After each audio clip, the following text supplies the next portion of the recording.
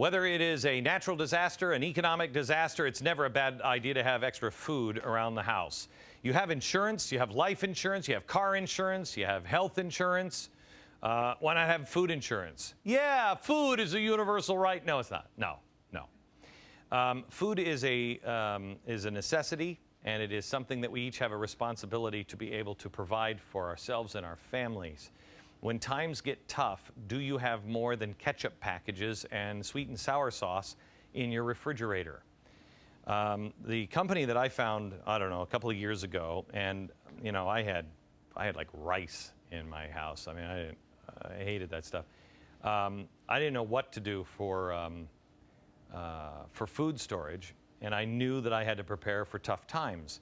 Well, found um, food insurance, and they they have these freeze-dried meals, and they're I don't know about two bucks a meal for your family, and it is it's really good stuff. I mean, I first time I I poured water in one, and I wanted to try it to see if I was going to buy stuff.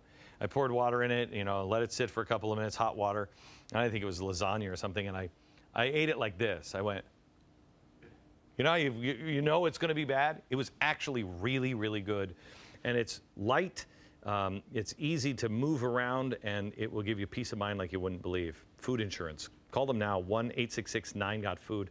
1 866 9 Got Food. Get prepared with food insurance.